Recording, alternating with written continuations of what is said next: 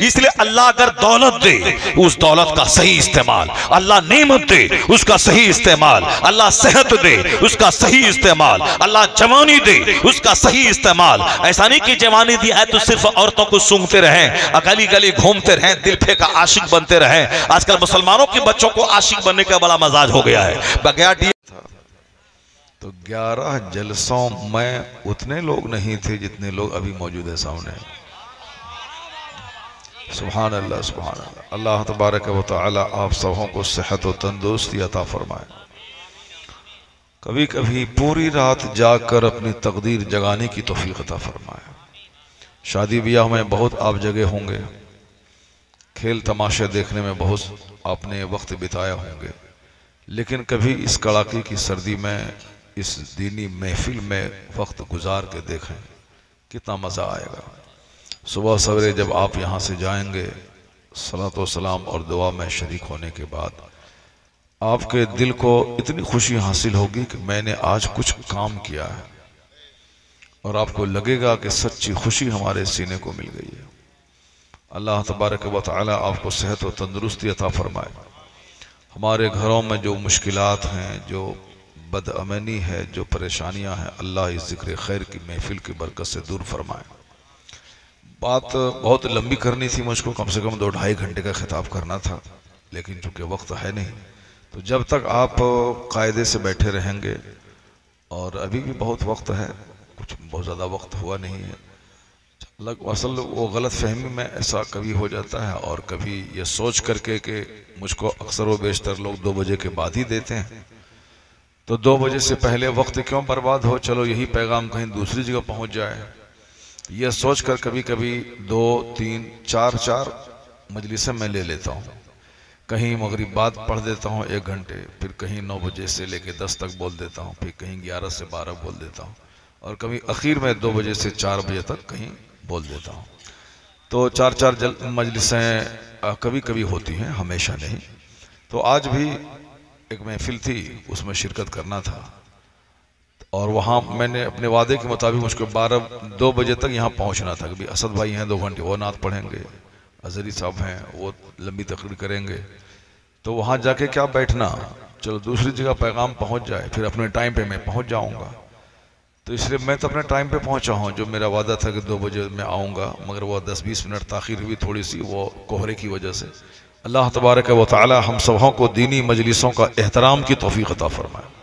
आप यहाँ कवाली सुनने नहीं आए हैं, कोई नाच गाने की महफिल में नहीं आए हैं, बल्कि आप दीनी मजलिस में अपने मजहबी रहनुमा को सुनने आए इस बात को हमेशा दिमाग में रखना है कि मैं कुरान हदीस सुनने आया हूँ, मैं अपने मजहबी रहनुमा को सुनने आया हूँ। दूसरे लोग जाग गए, वो अपने धर्म गुरु का बड़ा एहतराम करते हैं। प्रधानमंत्री जी किसी पंडित जी के सामने जाते हैं तो उनका पाँव छू लेते हैं। ये चरण छूना, पाँव छूना, ये उनके यहाँ है कि अपने धर्म गुरु को सम्मान दिया जाए, उनके पाँव को छूमा जाए। ये एहतराम हमारे मज़हब ने बताया था। एक आले रसूल जिसने अपने उस्ताद से कुछ सबक पढ़े थे, उनकी खातिर वो नीचे उतरने लगे तो उन्होंने कहा कि नहीं नहीं, आप आले रसूल हैं और आप अपनी सवारी पे सवार रहें आप मेरे लिए उतरे नहीं। मगर उन्होंने क्या कहा? कि जिसने एक सबक भी किसी को पढ़ाया, वह समझ लें कि अपना गुलाम बना लिया। अल्लाह जिसने एक सबक पढ़ाया, ऐसा है जैसे उसने अपना गुलाम बना लिया। यानी उनकी इज़्ज़त अब ज़रूरी है। और जो दो दो घंटे एक एक घंटे आपको दीन समझाए, जो दरसगाहों में आपको किताब पढ़ाए तो समझ लें कि वह आपके लिए मोहतरम, यानी काबिल एहतराम हो जाते हैं। इस मज़हब इस्लाम डिसिप्लिन का मज़हब है, ये अदब और एहतराम का मज़हब है। हमारे यहाँ सिर्फ़ एहतराम ही एहतराम है। एक औरत पर इस्लाम ने लाजिम करार दिया है कि अगर अल्लाह के अलावा दूसरे को सजदा करना जायज़ होता तो हर औरतों को हुक्म होता कि वह अपने शौहर को सजदा करें। कितना बड़ा एहतराम है। सजदा ताजीम की आखिरी हद है वो। इसीलिए सजदा सिवाय खुदा के सजद इबादत किसी दूसरे के लिए जायज़ नहीं है। सजद ताजीमी अगर कोई करता है तो हमारी शरीयत में हराम है। सजद इबादत कुफ्र है। और सजदा क्या है? अपनी पेशानी को ज़मीन पे रख देना। और सजदा सिर्फ़ अल्लाह के लिए है, गैर खुदा के लिए सजदा नहीं है। लेकिन हदीस में क्या कहा गया? कि अगर अल्लाह के अलावा दूसरे के लिए सजदा जायज़ होता तो हर औरतों को हुक्म होता कि वो अपने शौहर को सजदा करें। अल्लाह इतना बड़ा मकाम है शौहर का कि महर की रकम शौहर देता है, नानो नफका शौहर इंतज़ाम करता है। और औरत रानी बन के अपने घर में रहती है, शौहर बेचारा कड़ाके की सर्दी में, चिलचिलाती धूप में, ज़बरदस्त बारिश में, वो सारी मुसीबतें उठा करके अपनी बीवी को आराम पहुंचाता है कि आप घर में रहिए। हम बाहर रेडी चलाएँगे, ठेला चलाएँगे, हम आपकी सारी ज़रूरतें पूरी करेंगे। तो ये जब इतना बड़ा काम शौहर करता है तो औरत पे लाजिम है कि उनकी हर पसंद का ख्याल रखे। जब बाहर से घर आए तो उनके लिए सबसे पहले सारा काम छोड़ के उनका इस्तेमाल करें, उनकी इज़्ज़त करें। औरत के लिए माँ और बाप से भी बड़ा मकाम शौहर का होता है। मर्द के लिए सबसे ज़्यादा काबिल एहतराम हस्ती माँ होती है। माँ के पाँव के नीचे जन्नत है। औरतों के लिए भी माँ के पाँव के नीचे जन्नत है, मगर औरत के लिए शौहर का मकाम सबसे ज़्यादा होता है। क्योंकि शौहर अगर नाराज़ हुआ तो उनकी कोई इबादत कबूल नहीं होगी। और हदीस माया है कि शौहर अगर नाराज़ हो उसी हालत में अगर औरत मर जाए तो उसके लिए जन्नत की खुशबू उसके लिए हराम हो जाती है। यानी समझ लें कि वो जन्नत नहीं जाएगी। अगर ये मकाम है शौहर का, कि वह नाराज़ ना हो, शौहर को हर हाल में राज़ी रखा जाए, लेकिन हालात कैसे हैं, अब आपको मालूम है जो ये सारी चीज़ें हैं दीन से दूरियों के नतीजे में। चूँकि वह अपने शौहर को अपना पार्टनर समझती है। अब पार्टनर समझने के नाते वह दो गाली देगी तो हम चार गाली उसको दे दें। वह दो बात, वो दो वो दो गाली देंगे तो हम चार गाली उसको दे दें। वह दो बात कहें तो हम चार बात उसको कह दें। ये सारी बातें जहालत का नतीजा है। और आज जो कसरत से तलाक हो रही है और रिश्ते टूट रहे हैं, ये अदब और एहतराम की कमी की वजह से है। अगर बीवी अपने शोहर को अपने लिए समझ ले कि ये मेरी जन्नत भी है, ये मेरी दोजक भी है और हदीस में आया भी है कि शौहर तुम्हारे लिए जन्नत भी है, शोहर तुम्हारे लिए दोजक भी है। यानी शोहर अगर नाराज़ रहे तो बस सीधे जहन्नम। और शौहर अगर राज़ी रहे तो जन्नत। ये तुम्हारी जन्नत भी है, तुम्हारी जहन्नम भी है। तो मगर जहालत की वजह से औरतें ये सोचती हैं कि मैं शोहर के सामने अगर झुक गई, ये हम पर चढ़ जाएगा। और सहेलियाँ भी उनको मशवरा देती हैं कि तुम इनसे दब के मत रहना। और माँ भी कहती है अपनी बेटी से कि दब के मत रहना, न सास से दबना, न शोहर से दबना। बिल्कुल जम के रहना। आज कसरत से जो तलाक हो रही है उसमें इसी गलत फहमी का नतीजा है। अगर माँ अपनी बे, बेटी से कह दे कि बेटी तुम्हारे शौहर अब मुझसे ज़्यादा मोहतरम है। माँ बाप से ज़्यादा तेरे लिए अब शौहर काबिल तवज्जो हैं। खबरदार उनको तकलीफ़ ना होने पाए और वो तुमसे नाराज़ ना हो। मेरे पास मत आना मत आना मगर शौहर से जुदा ना होना।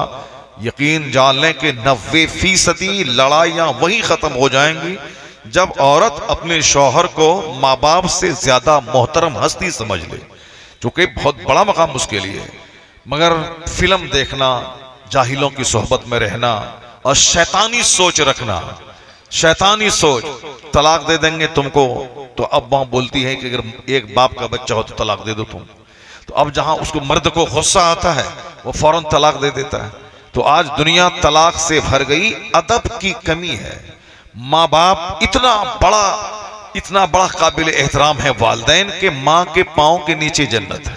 मगर एक बेटा अपनी माँ को बिल्कुल नौकरानी समझता है। नौकरानी की तरह उसको देखता है कि बीवी के डर से तो वो मारे मारे फिरता है। बीवी की माँ का एहतराम करता है कि मेरी सास अम्मी है। बीवी की बहन का एहतराम करता है, मगर अपनी खास बहन अपने खास भाई से सिर्फ़ लड़ाई और झगड़ा करता है। बा वालिद गिरामी काबिल एहतराम है कि वह जन्नत का दरवाज़ा है। माँ के पाँव के नीचे जन्नत है, मगर बाप जन्नत का दरवाज़ा है। तो जन्नत का दरवाज़ा है बाप माँ से भी ज़्यादा काबिल एहतराम है। क्योंकि माँ के पाँव के नीचे जन्नत है, मगर जन्नत में घुसने के लिए दरवाज़ा चाहिए और बाप जन्नत का दरवाज़ा। आमतौर पर जलसों में से माँ माँ माँ का का चर्चा होता है। शायरी भी मामा के होती है। लेकिन बाप काबिल एहतराम माँ से ज़्यादा होता है। चूँकि बाप मेरी माँ का भी सरदार है, जिस माँ के पाँव के नीचे जन्नत है, वो माँ का सरदार है मेरा बाप। तो वो वो माँ के लिए एक मोहतरम हस्ती है। तो जो बाप मेरी माँ का सरदार है तो वह बाप तो हमारे लिए माँ से ज़्यादा काबिल एहतराम है।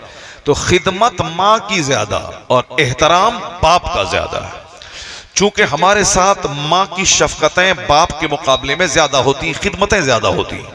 जिस तरह एक पौधे को फलदार बनने के लिए रात की सर, सर्दी की भी ज़रूरत है और सूरज की गर्मी की भी ज़रूरत है। लेकिन जो पौधा अक्सर नर्म माहौल में रहता है, वो बढ़ तो जाता है, मगर ताकतवर नहीं होता, उसमें ज़्यादा फल फ्रूट्स नहीं पैदा होते।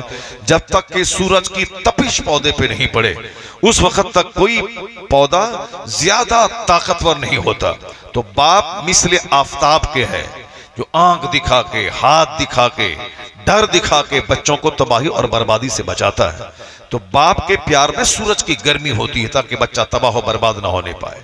अब माँ के प्यार में थोड़ी सी नरमी होती है कि बच्चा उसमें बहक भी जाता है। कर्नाटक की एक माँ के आठ बेटे और आठों बेटे मेडिकल ऑफिसर बन गए। मेडिकल ऑफिसर, डॉक्टर बन गए। आठों बेटे, एक बेटा, दो बेटा ने आठों बेटे। जब हमारे एक भाई साहब वहाँ गए, मौलाना साहब तो उन्होंने कहा कि भाई, ये आठ बच्चे मेडिकल ऑफिसर बन गए, आखिर इसके पीछे हाथ किसका है? किसकी मेहनत है? तो कहा गया कि उन उस डॉक्टर से खुद पूछा कि तुम भाइयों के पीछे किसकी मेहनत है? कहा, उनका नाम लेने से मुझको आज भी डर लगता है। उनका नाम लेने से आज भी मुझको डर लगता है। कहा, क्या मतलब? कहा, वह मेरी माँ है, जिसके नाम से आज मुझको डर लगता है। मेरी परवरिश में उन्होंने बेजा प्यार को दखल नहीं दिया। उसको अंग्रेज़ी में पैम्परिंग कहते हैं।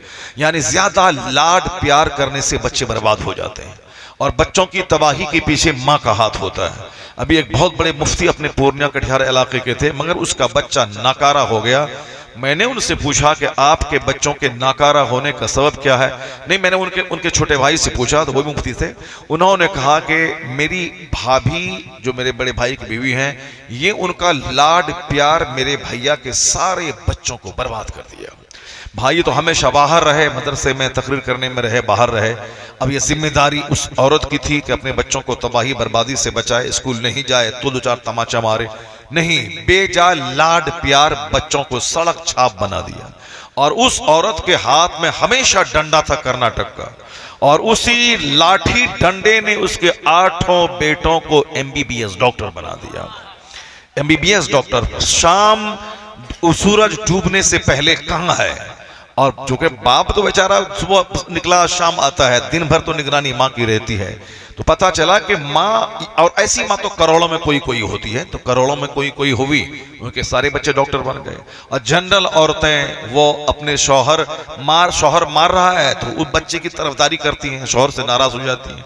और बच्चे को मारने नहीं देती हैं, बच्चे के सामने बाप की शिकायत करती हैं। तो समझ लें कि आज तो छोटा बच्चा है, इसके प्यार कर रहे हैं, मगर कल जब शादी होगी, फिर आप उनका चेहरा देखने के लिए तरस जाएँगे, सारी शफकतों से महरूम हो जाएँगे। तो खैर, बीच में बात आई कि माँ की खिदमत ज़्यादा है, मगर एहतराम बाप का ज़्यादा है। माँ के माँ का प्यार का भी बड़ा दखल है, मगर बाप की गर्मी का बहुत बड़ा रोल रहता है बच्चों के पीछे। खिदमतें माँ की ज़्यादा इसलिए हैं। जब बात छिड़ गई, मैं इसको मुकम्मल करूँ, फिर मैं आगे बढ़ता हूँ। मेरा टॉपिक ये नहीं, मेरा टॉपिक तो वो है, मैं पुराने पाक की दो तीन आयत पढ़ूँगा। और फिर देखूँगा कि पुराने पाक क्या मुझे नज़रिया देता है, और हम लोग किस मखोल में आज जी रहे हैं, और हम लोग किस मिट्टी को सोना समझे हुए हैं, और किस लोहे को हीरा समझे हुए हैं, और हकीकत में वो क्या चीज़ है अल्लाह के नज़दीक, कुरान हदीस की रोशनी में, मुस्तफ़ा की निगाह में। बस वो दो चार आयतें दो तीन हदीस में पढ़ूँगा। उससे पहले जब ये बात छिड़ गई है कि इस्लाम अदब और एहतराम का मज़हब है आलिम का एहतराम मस्जिद का एहतराम मदरसे का एहतराम मौलाना का एहतराम दाढ़ी जिसकी सफ़ेद हो गई उनका एहतराम शोहर का एहतराम बूढ़ी माँ का एहतराम बूढ़े बाप का एहतराम चचा का एहतराम फुफा का एहतराम उस्ताज का एहतराम यानी इस्लाम में तो डिसिप्लिन ही डिसिप्लिन है यहाँ बेअदबी के लिए बदतमीजी के लिए गुस्ताखी के लिए कोई जगह नहीं है आज अगर हमारे बच्चे मेरे हाथ से निकल रहे हैं, आलिमों की, जलसा, जुलूस की, हवा हुटिंग करते हैं तो ये सब काफिरों से उन्होंने सीखा है। क्योंकि जब से हमने आलिमों की हुटिंग करना शुरू की, ये मौलाना साहब झूठ बोलते हैं, ये मौलाना साहब हराम खाते हैं, ये मौलाना साहब अपना काम बनाते हैं, ये मदरसा की सूरत में दुकान खोले हुए हैं, इनको और कोई मतलब नहीं है। तो जब से ये एहतराम घटा तो फिर लोगों में आवारगी आ गई, आज़ादी आ गई, जो आना है, जो दिमाग में आया, वही करना है। मौलाना कुरान भी बोलता है, ये बोलता है कि झूठ बोलता है।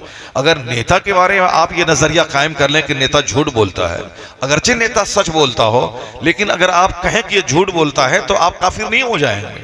चूँकि नेता बोलता है, मैं सड़क बनाऊँगा। मगर आप बोलते हैं कि झूठ बोलता है। तो इसमें आप काफिर नहीं हो जाएँगे। नेता बोलता है कि मैं हर घर को इंदिरावास दे दूँगा, मगर आप बोलते हैं कि झूठ बोल रहा है। तो आप इससे काफिर नहीं हो जाएँगे। चूँकि वो बोला, इंदिरावास बनाएँगे, और आपने कहा, नहीं बनाएगा, ये झूठ बोल रहा है। ये एक सच को गलत कहना हो सकता है, मगर काफिर आप उससे नहीं होंगे। लेकिन अगर कोई मौलाना के बारे में दिमाग में सेट हो जाए मेरे बच्चों का, ये झूठ बोलता है तो वहाँ ईमान के लूटने का अंदेशा होता है। क्यों? मौलाना कुरान शरीफ की आयत पढ़ेगा और वो उसके दिमाग में सेट है कि मौलाना झूठ बोलता है। तो हम कुरान पढ़ेंगे वह बोलेगा, ये झूठ बोल रहा है। बस सीधे ईमान खत्म। ईमान खत्म। अगर वो निकाह वाला है तो बीवी उसके निकाह से निकल गई। इसलिए मौलाना के बारे में दूसरों से दुश्मनी करें तो ईमान नहीं लूटेगा। लेकिन मौलाना से अगर दुश्मनी किया तो दुश्मनी का मतलब होता है कि उसका विरोध करना। वो अगर पूरब जा रहा है तो पश्चिम जाना। वो अगर अच्छा काम कर रहा है तो बिल्कुल उसका अपोज काम करना। दुश्मनी का ये मसाज होता है। तो दुश्मनी अगर किसी नेता से हुआ, वो शराब पी रहा है, आप नहीं पियेंगे तो ये एक अलग चीज़ है। लेकिन मौलाना से दुश्मनी हुई, मौलाना कुरान पढ़ेगा, आप बोलेंगे, हम नहीं पढ़ेंगे कुरान। मौलाना नमाज़ पढ़ेगा, आप बोलेंगे, हम नमाज़ नहीं पढ़ेंगे, हम उसके विरोध में काम करेंगे। मौलाना दस्तरखान पे खाना खाएँगे, आप बोलेंगे, नहीं, मैं मैं दस्तरखान के खाना खाऊँगा। मौलाना साहब तस्वीर पढ़ेंगे, आप बोलेंगे, मैं नहीं पढ़ूँगा। मौलाना साहब कुरान बोलेंगे, आप बोलेंगे, झूठ बोल रहा है। इसलिए दूसरों की दूसरों के ताल्लुक से झूठ का नज़रिया कायम कर लेना गुना हो सकता है, मगर ईमान नहीं लूटेगा। मगर ओलमा के ताल्लुक से अगर ये नज़रिया कायम हो गया, ये झूठ बोल रहा है तो ईमान के लूटने का अंदेशा होता है और दीन के खतरा में पड़ने का अंदेशा होता है। इसलिए अपने बाल बच्चों के सामने कभी किसी आलिम की तोहिन नहीं करें। उनके सामने कभी ना बोले कि मस्जिद के मामा ऐसा उससे बच के रहना, ये मौलाना ऐसा उससे बच के रहना, ये पीर ऐसा उससे बच के रहना यह सारे मौलवी के चक्कर में मत पड़ना, वो ऐसा है। अगर आपने ऐसा कहा तो याद रख लें, आप अपने पाओ पे कुल्हाड़ी मार रहे हैं। अगर बच्चे आपके आलिमों से दूर रहे जलसा जुलूस से दूर रहे जैसे हमारे बच्चे आज हुल्लड़बाजी करते हैं, तीन घंटे सनीमा हाल में रहते हैं, मगर वो जलसे में बैठना उसके लिए बोझ रहता है। ये हमारे बच्चे आज आज मदरसे के ताल्लुक से सोचते हैं कि हाँ सिर्फ़ कुरान खानी करने वाले बच्चे पैदा होते हैं। लेकिन उसको मालूम नहीं कि मदरसे की तारीख कितनी रोशन है। वह जानता नहीं है, इसीलिए वह अपने हिसाब से मौलाना का मज़ाक करना उसको, उसके दिमाग में घुसा रहता है। जबकि यूरोप का एक बहुत बड़ा दानिश्वर, उसने मदरसे के ताल्लुक से, आलिमों के ताल्लुक से क्या नज़रिया कायम किया? है।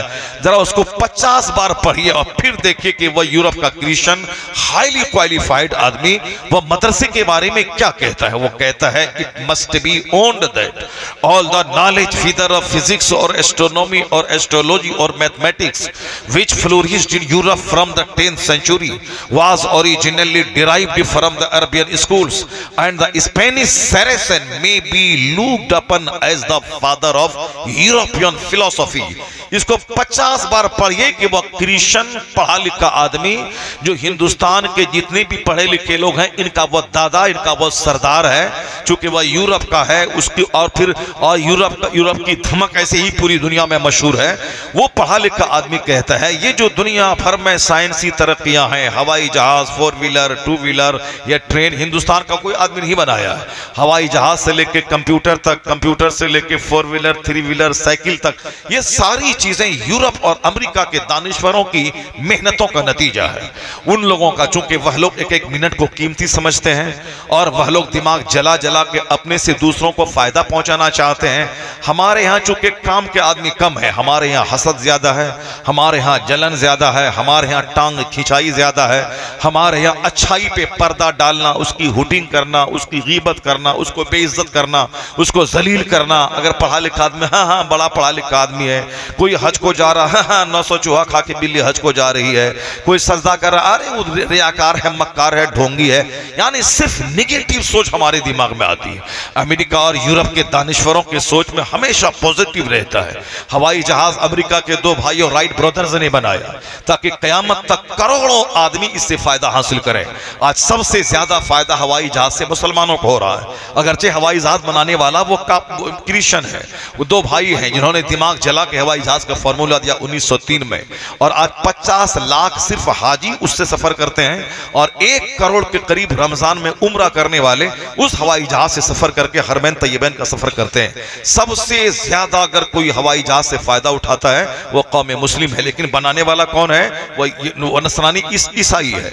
और फिर ये कंप्यूटर जिसको हम लोग चलाते हैं, ये बनाने वाला क्या है? वही यूरोप का क्रिश्चियन है। तो वहाँ के लोग एक एक मिनट को कीमती समझते हैं। वह फालतू चीज़ों में नहीं लगे रहते। चौक चौराहे पे बैठकर अपना वक्त बर्बाद नहीं करते। ये वक्त बर्बाद करना सिर्फ़ मुसलमानों के हिस्से में आया है। जबकि पूरी दुनिया को वक्त की पाबंदी का सिस्टम मुसलमान ने दुनिया को सिखाया है। इस्लाम ने बताया है। कैसे एक एक मिनट कीमती है, उसको इस्लाम कैसे बताता है? जैसे अभी दो घंटे के बाद सूरज निकलने वाला है। अभी ईशा का टाइम है। अभी एक घंटे के बाद फजर का टाइम शुरू होगा। जब फजर का टाइम शुरू होगा तो फजर का टाइम जैसे शुरू हो गया चार बजकर पचपन मिनट पे। तो चार बजकर पचपन मिनट से पहले हम ईशा की नमाज़ पढ़ सकते हैं। चार बजकर पचपन मिनट के बाद ईशा की नमाज़ नहीं पढ़ सकते हैं। एक चार बजकर पचपन मिनट तक हम सहरी खा सकते हैं। और चार बजकर पचपन मिनट के बाद हमारे लिए अब रमज़ान के दिनों में रोजा रखना फ़र्ज़ है और दाना खाना हराम है, पानी पीना हराम है। तो एक मिनट पहले जो दाना हलाल था, एक मिनट के बाद हराम हो गया। एक मिनट पहले जो बीवी हलाल थी, एक मिनट के बाद वो बीवी मेरे लिए हराम हो गई। एक मिनट पहले जो पानी हलाल था, वो मेरे लिए हराम हो गया। एक मिनट पहले जो रोटी हलाल थी, एक मिनट के बाद हराम हो गई। छह बजकर दस मिनट में आफ्ताब गुरूब होता है। तो छह बजकर दस मिनट तक पानी हराम है। लेकिन छह बजकर ग्यारह मिनट में वही पानी मेरे लिए हलाल हो गया। छह बजकर दस मिनट तक मेरी बीवी मेरे लिए हराम थी।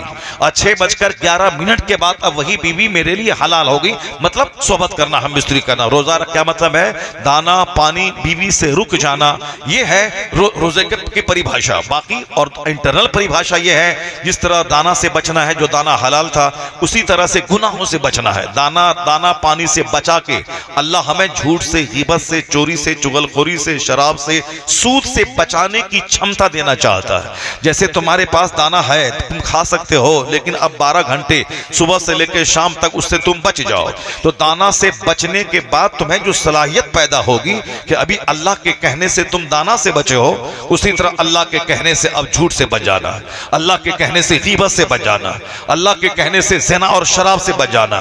तो रोजा हमें गुनाहों से बचने की ताकत देता है, रोजा हमें गुनाहों से बचने के लिए प्रिपेयर करता है, रोजा हमें अल्लाह की मर्ज़ी पे राज़ी रहने, अल्लाह की बात मानने के लिए अगरसर रहने का पैगाम देता है तो रोजा बजाहिर दाना पानी से रुक जाने का नाम है, मगर हकीकत में उसके पर्दे में अल्लाह गुनाहों से हमें रोकना चाहता है। यह है रोज़े की थीम यह है रोज़े का सेंस यह है रोज़े का असल मफहूम यह है रोज़े का असल मकसद, उसकी गर्जो गायत है।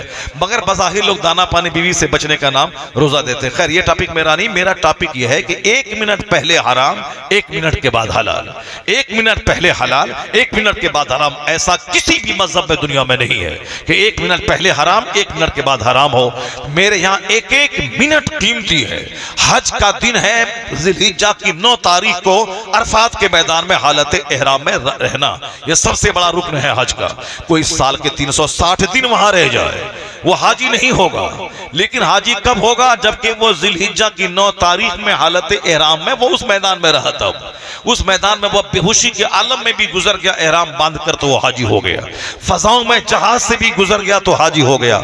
और ऐसे जाके 360 दिन वहाँ बैठा रहे, नहीं होगा। तो इसका मतलब है कि इस्लाम के नज़दीक वक्त की कितनी अहमियत है। जक़ात साल भर जिस माल पे हो जाए, वो उस उस पर जक़ात फ़र्ज़ है। जैसे मेरी बीवी के पास एक करोड़ का जेवर है, साल जब गुजरेगा, तब उस पर जक़ात फ़र्ज़ होगी। और जब जब तक वह माल रहेगा, हर साल उस पर जक़ात फ़र्ज़ है। ऐसा नहीं कि एक बार निकाल दिया तो अब अब हर साल के लिए फ्री हो गया। नहीं, चाहे वह पहने या ना पहने, या बक्स में सजा के रखे, अगर वो सोना चांदी है तो उस पर जक़ात फ़र्ज़ है, जो उसका क्रिटेरिया को फुलफिल करता है। और हर साल जक़ात फ़र्ज़ है। और जितना माल उसमें से घट गया या बेच गया, बेच दिया, अब जो माल बचा है, उस पर जक़ात फ़र्ज़ है। लेकिन जितना माल है, जिस पर जक़ात निकाल दिया, उस पर भी अगले साल निकालना है, अगर वह माल मेरे पास रहा।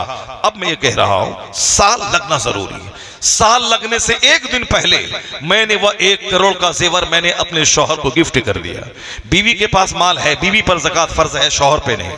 लेकिन शोहर ने साल लगने से पहले अपने शोहर को वह माल दे दिया। मैंने ये माल आपको दे दिया। शोहर उसका मालिक हो गया। इस माल पे साल नहीं गुजरा। अब उस पर जक़ात फ़र्ज़ नहीं है, क्योंकि जक़ात फ़र्ज़ होगा साल गुजरने के बाद। अब वह शोहर के पास वह माल रहा आठ महीने तक। लेकिन शोहर फिर आठ महीने, दस महीने, ग्यारह में रखने के बाद वह माल लौटा के फिर बीवी को दे दिया कि माल मैंने तुझको बतौर गिफ्ट दे दिया। अब शौहर पे जक़ात फ़र्ज़ नहीं है। मगर आप ऐसा मत कीजिएगा, चूँकि जक़ात से बचने के लिए ये हेरा फेरी, बदला बदली मत कीजिएगा। मैं सिर्फ़ एक मसला बता रहा हूँ कि साल लगना ज़रूरी है। लेकिन अगर किसी वजह से साल लगने से पहले वो माल बिक गया, वो सारे जेवरात बिक गए, ज़मीन खरीदनी थी, सारे जेवरात बिक गए, अब जक़ात फ़र्ज़ नहीं है। तो किस कदर पंक्चुअलिटी, वक्त की पाबंदी इस्लाम में ज़रूरी है? किस कदर वक्त की पाबंदी है? दस बजे मैं जोहर की नमाज़ नहीं पढ़ सकता। जोहर की नमाज़ का टाइम शुरू होगा कब जबकि जहवे कुबरा का टाइम खत्म हो जाए, अब सवाल का टाइम खत्म हो जाए, तब उसके बाद वहाँ से अब जोहर का टाइम शुरू होता है। तो जोहर का टाइम दस बजे नहीं है, ग्यारह बजे नहीं है, आठ बजे नहीं है, नौ बजे नहीं है, सात बजे नहीं है। तो वक्त वक्त की बात है। जिस मज़हब में एक एक मिनट कीमती हो उस मज़हब के फॉलोवर अगर चौक पे दो घंटा यूँ ही गुजार दें, एक घंटा यूँ ही दोस्तों के साथ मटर कश्ती में गुजार दें, रात भर चार चार घंटे बैठकर मोबाइल चला के गुजार दें तो उसका बट, उसका बेटा दिल फेंक आशिक तो हो सकता है। उसका बेटा गुटखा खोर तो हो सकता है। उसका बेटा कोढ़ी बुजदिल काम चोर तो हो सकता है। उसका बेटा रेल की पट्टी उखाड़ने वाला डकेत तो हो सकता है। उसका बेटा मालगाड़ी लूटने वाला चोर तो हो सकता है। उसका बेटा नाकाम, खाइबो, खासिर, तबाह, बर्बाद तो हो सकता है, लेकिन कभी डिस्ट्रिक्ट मजिस्ट्रेट नहीं होगा। डिस्ट्रिक्ट मजिस्ट्रेट बनने के लिए 18 घंटे 16 घंटे डेली स्टडी करना ज़रूरी है। साइंटिस्ट बनने के लिए सारी दुनिया के रिश्ते नातों से अपने आप को अलग करके तन्हाई में गोशा नशी होकर पूरी यूनिवर्स की गहराई पे रिसर्च करना, गौर करना ज़रूरी है। सर के बाल जितने बढ़ जाए, कपड़े जितने गंदे रहे, नाखून बढ़ जाए, ये सारे वैज्ञानिकों के सा, सारा जोग्राफिया उसका है। वो तन्हाई में बैठकर गौर करते हैं कि आसमान बगैर खंबे के कैसे खड़ा है ज़मीन पानी पे कैसे टिकी है ये पहाड़ फूटे का काम कैसे कर रहा है। वो रिसर्च करते करते करते उसी में से एक नई चीज़ का आविष्कार करते हैं और दुनिया वालों को देते हैं। दिमाग उसने जलाया और करोड़ों आदमी उससे फ़ायदा हासिल कर रहा है। कंप्यूटर बनाने वाला दिमाग जलाया और आज करोड़ों आदमी उस कंप्यूटर से फ़ायदा हासिल कर रहे हैं। दिमाग जला जला के उसने साइकिल बनाया साइकिल कोई इंडिया का आदमी नहीं बनाया है। इंडिया के लोग बकवास करने में माहिर है। इंडिया के लोग दंगा करवाने में माहिर हैं। इंडिया के लोग दूसरे लोगों को मारने में माहिर हैं। इसीलिए इंडिया के लोग क्या करेंगे? इंडिया मोबाइल अमेरिका का ये मोबाइल चलाएँगे 24 घंटे बैठकर। अब साहब अब साइकिल अमेरिका का ये चलाएँगे, उस साइकिल का फ़ायदा हासिल करेंगे। ट्रेन अमेरिका का दिया हुआ, उस ट्रेन पे ये सफ़र करेंगे, ये लड़ाई करेंगे। तो जो मेहनत करके दूसरों को कुछ देने की ठान लेता है, वही अपने वक्त का साइंटिस्ट बनता है, वही वैज्ञानिक बनता है जो एक एक मिनट को कीमती समझे, आवारगी में न गुजारे। ये इस्लाम ने दुनिया को वक्त की अहमियत बताया। और विडंबना है कि इस्लाम के फॉलोवर ही सबसे ज़्यादा आज वक्त को बर्बाद करने वाले बन गए। नतीजे में आज यहूदी मुझे मारना चाह रहा है, आज क्रिश्चियन मुझे मारना चाह रहा है, हिंदुस्तान के मुशरिक ये मुझे भगाना चाह रहा है, साहब चाइना का बोध और जैन ये मुझे तबाह बर्बाद करना चाह रहा है। ये सारे लोग मिल के मुझे मिटाना चाहते हैं। किन को मिटाना चाहते हैं? जिसने दुनिया वालों को बताया है knowledge is power knowledge is right जिसने दुनिया वालों को बताया है कि punctuality is the root of success जिसने दुनिया वालों को बताया है टाइम इज़ मनी जिसने दुनिया वालों को बताया है knowledge is power knowledge is light जिसने दुनिया वालों को बताया है democracy is the government of the people for the people by the people यानी जितने भी सिस्टम है दुनिया में, अच्छे सिस्टम चाहे जमहूरियत का, ये इस्लाम ने दिया है एजुकेशन का, ये इस्लाम ने दिया है। अपने समाज में सम सोशल एनिमल बनकर एक दूसरे से मोहब्बत करने का, ये समाज इस्लाम ने दिया है। वरना लोग तो जानवर थे, लोग तो महीना महीना नहाते नहीं थे, लोग तो अपनी माओ से जिना करते थे, लोग तो जानवरों से सोहबत करते थे। तो कई कई महीने वो सो वर नहाते नहीं थे। लोग जानवर थे, ये तो 1400 साल पहले जब इस्लाम का सूरज तुलू हुआ पूरी दुनिया के लिए मॉडल और आइडियल बन के पैगंबर आज़म दुनिया में तशरीफ़ लाए तो उन्होंने एक निज़ाम हयात लोगों को दिया कि क्या खाना है क्या नहीं खाना है क्या बोलना है क्या नहीं बोलना है कैसे सोना है कैसे नहीं सोना है क्या लीगल है क्या इलीगल है क्या फॉरबिडन है क्या परमिटेड है क्या जायज़ है क्या नाजायज है क्या हराम है क्या हलाल है क्या राइट है क्या रॉन्ग है from the cradle to the grave माँ की गोद से लेके कब्र की गोद तक कामयाब ज़िंदगी गुजारने का नुस्खा कहीं दुनिया में आज मौजूद है किसी दूसरे दानिश्वर का दिया हुआ नहीं है नुस्खा मोहम्मद अरबी का अता किया हुआ। ये नज़ाम ये नज़ाम हयात मुस्तफ़ा का दिया, क्योंकि हमारे बच्चों को मालूम नहीं होगा, इसे मालूम नहीं होगा। वो तो हुटिंग करना सीखा है। वह तो अपने बाप की जबानी सुना है मौलाना साहब चोर है, ये झूठ बोलता है। अब वो कैसे जानेगा कि मौलाना साहब इल्म और अदब और अखलाक के माहिर हैं? कुरान करीम में दुनिया भर की सारी बातें हैं। वो तो फिजिक्स, केमिस्ट्री, बायोलॉजी पढ़ाता, सोचता, कुरान शरीफ में सिर्फ़ नमाज़ की बात है। लेकिन जिस दिन उसके सामने पता चल जाए कि जिस हदीद और लोहे को तू केमिस्ट्री में पढ़ाता है, उस लोहे के नाम पे कुरान की सूरत है, उसका सीना फट जाएगा, उसका उसका दिमाग चकरा जाएगा।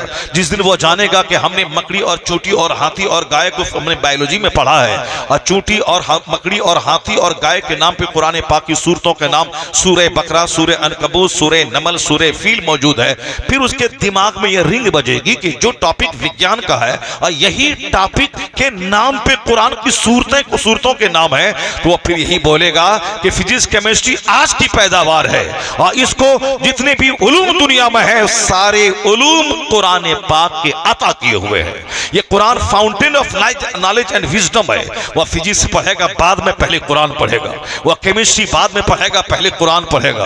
वह बायोलॉजी बाद में पढ़ेगा, पहले कुरान पढ़ेगा। लेकिन चूँकि यहाँ हमारे बाप ने तो बता दिया है कि मौली साहब झूठ बोलता है, इसीलिए अब वह मौली साहब हज़ार कीमती बातें बोले। उससे उसको क्या बस वो तो जॉन डेविन पोर्ट के बोलता है कि सारे इस्लाम ने दुनिया को सिखाया है और अरबी मदारिस के जो असा हैं, ये असातजा यूरोप की साइंस के बाप कहे जाने की मुस्तक है the Spanish Saracen may be looked upon as the father of European philosophy यानी मदरसे के तलबा जो मदरसे के असातजा जो स्पेन में लोगों को रिसर्च का मेडिटेशन का पॉन्डिंग का गौर फ़िक्र का तजस्स का तफक्र का पैगाम देते थे ये मदरसे के असातजा यूरोप की साइंस के बाप है ये मैं नहीं बोलता ना मेरा पीर बोलता है ना मेरा फकीर बोलता है ये यूरोप का जॉन डेविन पोर्ट क्रिश्चियन मवर्रिख वो कहता है कि स्पेन के ओलमा जो मदरसे में दर्स देते थे, ये वही दर्स था जो साइंस के दरवाजे को खोला है जिसने रिसर्च का पैगाम दिया है। अफला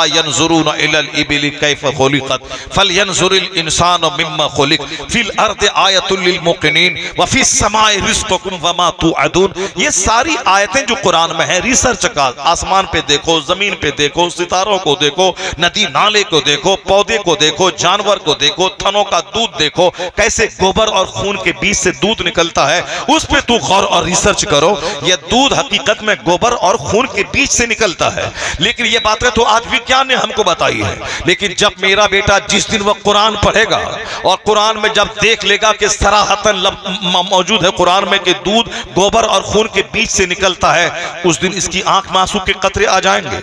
उस दिन कुरान को वह सीने से लगा लेगा। वह कुछ दिन वह जान लेगा कि फिजिक्स, केमिस्ट्री पढ़ने के बाद दो रोटी तो मिल जाएगी। मगर कुरान पढ़ने के बाद नजाम हयात मिलता है और इस पर अमल हो तो जन्नतुल फिरदौस की नेमत मिलती है। ये कुरान ही है जो आदमी को आदमी बनाता है। जिस दिन वह जान ले, जरा मैं उस आयत करीमा को पढ़ के मैं सुनाता हूँ, अगर कोई पढ़े लिखे लोग हैं जिस तरह, इस तरह की मेंटेलिटी रखते हैं, ताकि उसकी भी कुछ इल्मी प्यास बुझ जाए वह रूहानी खुराक समझ कर उसको अपने वह ग्रहण करें कि किस तरह कुरान करीम में नमाज़, रोज़े, हज जक़ात, निकाह खुला तलाक के अलावा कुरान शरीफ में इस तरह के मजामी हैं, जिसको आज लोग आज जदीद साइंस में पढ़ते हैं।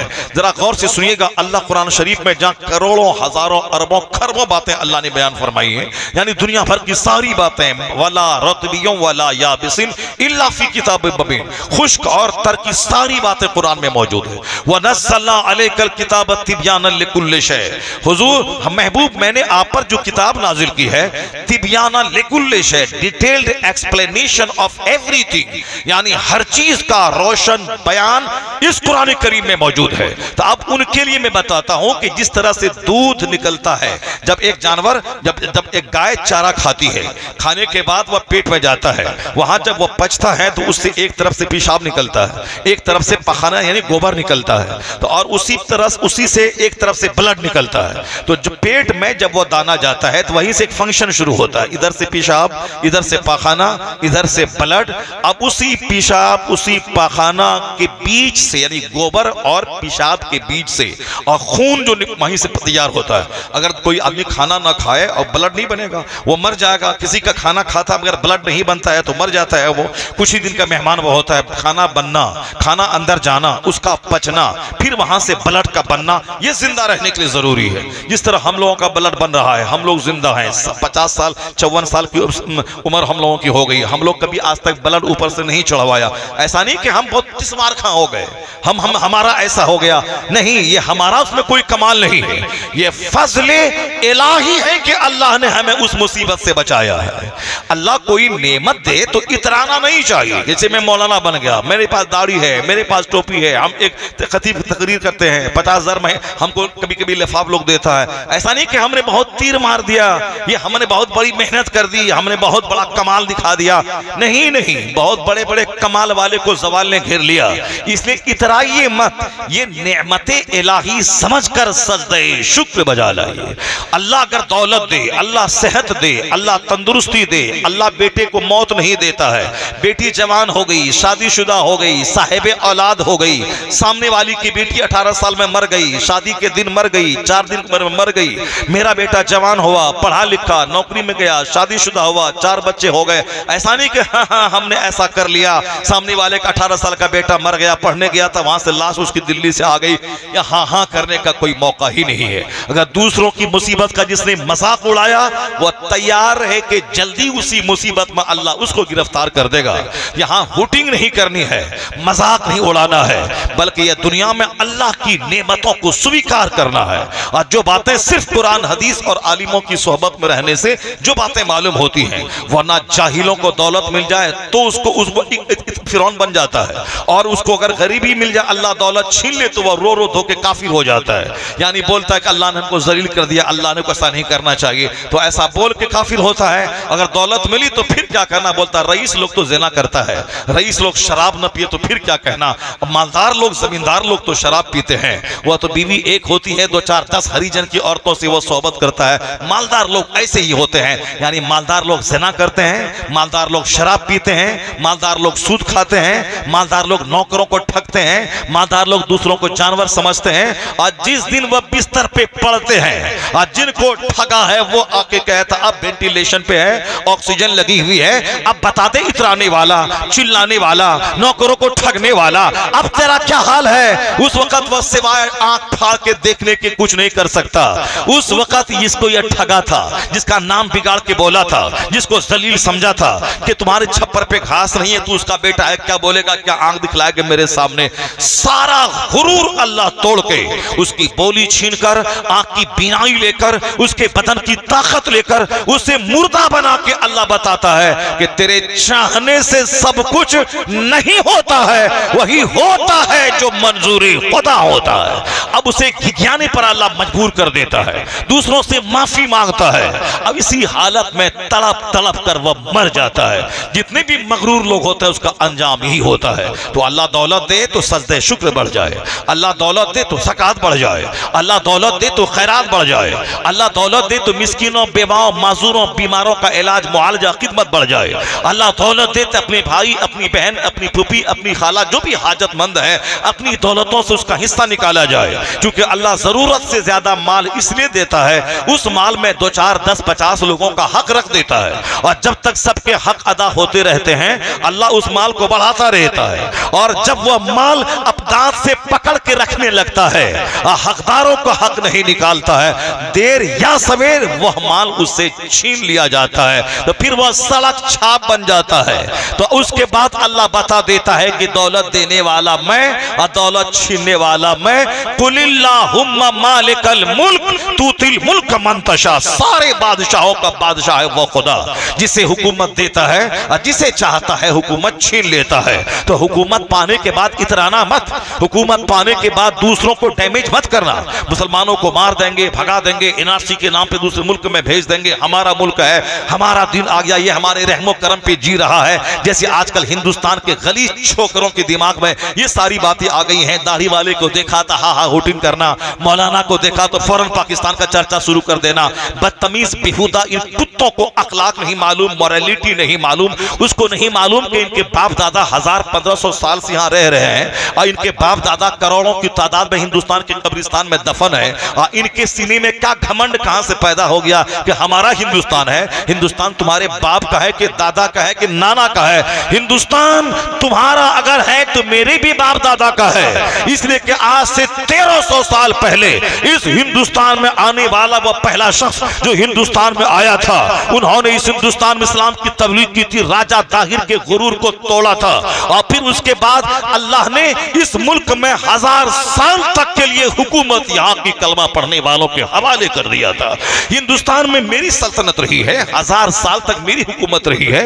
ये मुल्क हमारा रहा है, ये मुल्क हमारा है, इसकी आज़ादी में मेरी हिस्सेदारी है। और हम, तुम तुम तो अमेरिका जाता, उसका को गुलाम बन जाता है उसका तलवार चाटने लगता है। लेकिन हमारा मौलाना अमेरिका में रहने के बाद नहीं बोलता कि अमेरिका का महल अच्छा है, उसके मार्केट अच्छे हैं, उसका व्हाइट हाउस अच्छा है, नहीं, मेरा मौलाना वहाँ से लौटने के बाद बोलता है कि हिंदुस्तान की सड़ी हुई गलियाँ अमेरिका के व्हाइट हाउस से बेहतर है। ये हमारा मुल्क है, अमेरिका से अच्छा हिंदुस्तान हमारा, चाइना, जापान से अच्छा हिंदुस्तान हमारा, मलेशिया, सिंगापुर से अच्छा हिंदुस्तान हमारा, यानी इन सारे जहाँ से अच्छा हिंदुस्तान हमारा, हम बुलबुले हैं, इसकी ये गुलसता हमारा। तो हम हैं हिंदुस्तानी, और ये मुझको भगाने की सोच रहा है। खबरदार, सबर कीजिए। हुकूक, अगर अल्लाह ताला जिस तरह सेहत देता है, सेहत छीनता भी है, जवानी देता है, फिर कमर तोड़ बुढ़ापा दे के जवानी छीन लेता है, दौलतमंद बनाता है, फिर गरीब बना देता है, अल्लाह रात देता है, दिन देता है, दुनिया की कोई चीज़ एक हालत पर नहीं रहती है।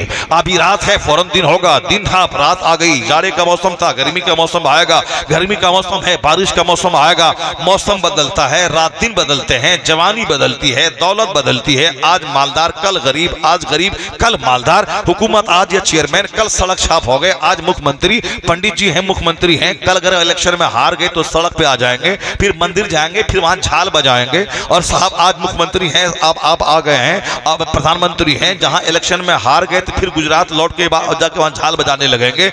इसलिए अल्लाह अगर दौलत दे, उस दौलत का सही इस्तेमाल। अल्लाह नेमत दे, उसका सही इस्तेमाल। अल्लाह सेहत दे, उसका सही इस्तेमाल। अल्लाह जवानी दे, उसका सही इस्तेमाल। ऐसा नहीं कि जवानी दिया है तो सिर्फ़ औरतों को सूंघते रहें। गली गली घूमते रहें, दिल फेंका आशिक बनते रहें। आजकल मुसलमानों के बच्चों को आशिक बनने का बड़ा मजाज हो गया है। गया डीएम बनने के लिए वहाँ से लड़की को लेकर चला आया। और गया एमबीबीएस डॉक्टर की तैयारी करने कोटा वहाँ से लड़की को लेकर चला आया। बाप पूछता कि बेटा क्या हुआ, क्या क्या करे? दिल लग गया। यानी गया था डीएम बनने और दिल लगा के लड़की के साथ ले आया। बहुत गर्मी हमारी बेटियों को भी आज आ गई है। किसी चमार के साथ, किसी डोम के साथ, किसी हरिजन के साथ, किसी काफिर के साथ ये न देखा कि ईमान लूट रहा है, जन्नत लूट रही है, दुनिया में कब तक जवान रहेंगे? दस, पंद्रह, बीस साल, उसके बाद बुढ़ापा आएगा, चेहरे का चमड़ा लटकेगा, कोई पसंद नहीं करेगा। फिर उसके बाद क्या हाल होगा? तवाइफ के कोठे पर जब तक ग्राहक आएगा, जवानी है सलामत, तब उसके बाद फिर क्या दरगाहों पे बैठ के भीख मांगनी पड़ेगी? जो काली कलोटी फूथरी औरत जो शौहर के पास है, वो तो नब्बे साल की उम्र में भी रानी रहती है। क्योंकि जो अल्लाह का नाम लेके माँ बाप की मर्ज़ी के मुताबिक शादी करती है, वह भूतनी थी। नब्बे साल की उम्र तक वह रानी रहती है शौहर के सामने। लेकिन जो जवानी में चटक मटक करती दूसरों के साथ भागी, उसके बदन को निचोड़ कर जिस तरह जबलपुर का वो ढाबा वाला, एक मुसलमान घरानी की बेटी की हुस्न को लूटा, उसके शादी का झांसा दिया, और जब उसको लूट लिया पूरा, फिर उसके जबह करके जबलपुर के नहर में डाल दिया। इस तरह बेशुमार लड़कियाँ जो खैरों के झांसे में आई, वह दुबई गई, सब्ज बाग दिखलाया। वहाँ दो चार महीना उसकी जवानी को निचोड़ा, फिर उसे तवाइफ के कोठे पे बेच दिया, और फिर वो पैसा लेके भाग गया। और जब तक जवान रही तो ग्राहक आती रही, और जब बूढ़ी हो गई तो अब क्या करेंगे? वो घर आ नहीं सकते माँ बाप के पास, क्योंकि माँ बाप की मर्ज़ी के खिलाफ घर से बाहर गई है। और जिसके नाम पे गई है वो तो बेच के भाग गया। और फिर जवान जब तक है, तब तक ग्राहक है उसके बाद बुढ़ापे में, फिर उसको तो कोठे से निकाल के भगा दिया जाएगा। फिर वो अजमेर में दरगाहों पे जाके बैठ के भीख मांगेंगी। फिर वो हाजी अली में दरगाहों पे बैठ के भीख मांगेंगी। तो जो नफ्स पे कंट्रोल नहीं करे, और फिर ख्वाहिशात का गुलाम बन के लड़का हो या लड़की, अल्लाह रसूल को नाराज़ करके बस बदर में आग लगी बुझाने के लिए चाहे किसी चमार का बदन पकड़ लिया, वो तो समझ ले कि ज़िंदगी के सुकून में आग लगेगी, उसकी जवानी में आग लगेगी और आखिरत तो बर्बाद हो ही जाएगी। वो सबक सीखे उस काली भूतनी औरत से, जो मर्ज़ी के बाप वालदेन की मर्ज़ी के मुताबिक अल्लाह का नाम लेकर निकाह किया। वो जवान रहती है तो भी रानी और नब्बे साल की बीमार बूढ़ी हो जाए तो भी शोहर के सामने रानी। अल्लाह के नाम पे जो रिश्ता कायम होता है, उसमें बरकतें होती है, जो शैतान के बहकावे में रिश्ता कायम हो, वो रिश्ता हंड्रेड परसेंट नाकाम होता है। और जो रहमान का नाम लेके रिश्ता कायम हो, उम्र बढ़ती जाती है, मोहब्बत पुख्ता होती चली जाती है। इसलिए अपनी माँ, बहन, बेट, अपनी बेटियों पे कंट्रोल रखे, खबरदार। उनके साथ कभी करीना की बात, कभी कैटरीना की बात उनके सामने ना होने दें। उनके सामने सिर्फ़ फातमतु जहरा की बात, राबिया बसरी की बात, महबूब इलाही की माँ की बात, गौसे आज़म की माँ की कहानी सुनाए, ताकि बेटी उजड़े नहीं, उसका ईमान सलामत रहे। अगर औरत उजड़ गई तो नस्लें उजड़ जाएँगी, समाज उजड़ जाएगा। ये बच्चे अगर हरामी पैदा हुए, जब उनका बाप ही नहीं रहेगा तो समाज को तकलीफ़ पहुँचा जाएगा। समाज को तंग करेगा। समाज चोरों और डकेतों से भर जाएगा। आज जो अदब खत्म हुआ, एहतराम खत्म हुआ डिसिप्लिन खत्म हुआ, कहीं ना कहीं उसके पीछे ईमान के लूटने, निकाह के टूटने और नाजायज बच्चों के पैदा होने का नतीजा है। समाज में जब हलाली बच्चे, पाक बच्चे रहते हैं, वह अदब रहता है निगाहें झुकी रहती है माँ बाप का एहतराम रहता है, आलिम और अलमा पीर का एहतराम रहता है, लेकिन जब बच्चे नाजायज पैदा हो, चाहे माँ बाप का निकाह टूट गया हो, उसको पता न चला हो, जबान से कुफ्र बक दिया हो, आलिमों की तोहिन करके काफिर हो गया हो, अब फिर उसी उसी औरत उसके निकाह से निकल गई हो, उसको फिर अपनी बीवी समझ के उसके साथ हम मिस्त्री किया हो, और बच्चा पैदा हुआ हो, ये तो नाजायज बच्चे जब समाज में बढ़ेंगे तो चोरों की तादाद बढ़ेगी, डकैतों की तादाद बढ़ेगी, समाज में जीना मुश्किल हो जाएगा, बच्चों से आँख को ठंडक क्या पहुंचेगी, वही बच्चा जेल में जाने का ज़रिया बन जाएगा, हर माँ बाप डर रहा है कि कहा मेरा कोई बच्चा कांड कर दे और पुलिस वाला के मुझे गिरफ़्तार करने मेरे घर पे आ जाए उसके लिए ज़रूरी है कि जबान पे कंट्रोल निगाह पे कंट्रोल शर्मगाह पे कंट्रोल अपनी जबान पे कंट्रोल तब आने वाली नस्लें चोरों की नहीं, वलियों की नस्ल पैदा होगी, कुतुब की नस्ल पैदा होगी, अवतार की नस्ल पैदा होगी। हुजूर ने कहा था मैं यजमन ली, माँ बैन रिजले, व माँ बैन लहिए अजमल लहुल जन्ना। मुस्तफ़ा ने क्या कहा था? ये दोनों जबान के बीच में जो, दोनों जबड़ों के बीच में जो जबान है, उसकी सुरक्षा की जमानत मुझको कोई दे दे। यानी इसको, उनको फालतू इस्तेमाल ना करे, गाली गलोज ना करे, इससे कीबत चुगलखोरी ना करे, दूसरों की इज़्ज़त खराब करने के लिए बदकोई की महफिल ना सजा ले, इस और फिर किसी को गाली गलोज ना करे, खिलाफे खिलाफे इज़्ज़त कोई जुमला जबान से ना निकाले, वरना यही जबान पान भी खिलाती है जबान फ़ौरन दो मिनट के बाद जूता चप्पल खिला देती है, जबान बहक गई मार शुरू है, इसीलिए बाप बाप, माँ, बाप अपने बच्चों से कहते हैं कि बेटा पंजाब दिल्ली जा रहा है, जबान पे कंट्रोल रखना यह जबान पान खिलाती है, जबान जूता भी खिलाती है तो जबान पे कंट्रोल और फिर दो टांग के बीच में जो पोशीदा प्राइवेट पार्ट है, उस पे कंट्रोल रखना। ऐसा नहीं किसी खूबसूरत लड़की को देखा, उसी के पीछे हो लिए, उसी को सूंघने लगे, दो चार दिन गली में घूमने लगे, और फिर बार मोहब्बत का दम भरने लगे, और जहाँ उसका भाई, बाप भाई देखा तो काट दिया, फिर भी वहाँ पंजाब से उसकी डेड बॉडी भी हार आ रही है। सारी दुनिया जान रही, क्यों? लुचुर फुचुर कर रहा था, आशिक बन रहा था ये। इसीलिए पूरे बदन को काट दिया, उसकी डेड बॉडी वापस आई। माँ अलग थाड़े मार के रो रही है। बाप अलग रो रहा है सब का सबका सपना चूर चूर हो गया। मेरा बेटा कमाएगा, मेरी हालत दुरुस्त करेगा, मेरे मुझको इज़्ज़त दिलाएगा, मेरे घर को आबाद करेगा। बेटा तो आशिक बन के आ गया। तो इसीलिए हर माँ बाप रो रो के फ़ोन पे कहते बेटा, कभी भी अपनी जबान को कंट्रोल से बाहर न जाने देना और अपने दोनों पाओ को कंट्रोल के बीच में जो शर्मगा है, उसको कंट्रोल में रखना या दोनों काबू में रखना, बेकाबू होने नहीं देना। मैं कहता हूँ, आज का बाप ये बोल रहा, हिंदुस्तान के बाप ये बोल रहे हैं, अमेरिका का यूरोप के बाप ये बोल रहे हैं, मगर हुजूर की बारगाह में आ जाए। सरकार ने 1400 साल पहले इस मॉरेलिटी की पीक की बात है, अखलाक की चूटी की बात है, जिसको सारी दुनिया आज कह रही है, हुजूर ने 1400 साल पहले कहा, मैं यजमली माँ बैन या दोनों जबड़ों के बीच में जो जबान है, उसकी सुरक्षा की जमानत कोई मुझको दे दे। और दोनों टांग के बीच में जो शर्मगा है, उसकी सुरक्षा की जमानत कोई मुझको दे दे। मैं यजमली माँ बैन व माँ बैन रिजलई। मुस्तफ़ा कहते, अजमल लहुल जन्ना, मैं उसे जन्नत की बशारत देता हूँ, जो इन दोनों चीज़ों की सुरक्षा की जमानत दे दे, मैं उसको जन्नत की जमानत देता हूँ। आप बताएँ कि हुजूर ने जन्नत की गारंटी दी है, जो इन दोनों चीज़ों की गारंटी दे दे उनको। गारंटी दे दे। आज यही दोनों चीज़ें काबू से बाहर है। जबान काबू से बाहर। हा हा। हुटिंग करना, मौलाना का मज़ाक उड़ाना, जलसे का मज़ाक उड़ाना, जो काम यहूदी का बच्चा नहीं करता, वो काम मुसलमान का बच्चा कर रहा है। जो काम किसी क्रिश्चियन का बच्चा नहीं कर रहा काम मुसलमान का बच्चा कर रहा है। और ये हवा हुटिंग करके तुम अपने माँ बाप की इज़्ज़त को मिट्टी में मिला रहा है। क्योंकि तुम्हारा यह अंदाज बता रहा है कि तेरी माँ बेढंगी और तेरा बाप बेढंगा, जिसने तुझको अदब नहीं सिखाया। अल वलदो सिर्रुल अभी यानी औलाद अपने माँ बाप का भेद और राज होती है। माँ बाप को औलाद को देख के माँ बाप पहचाना जाता है।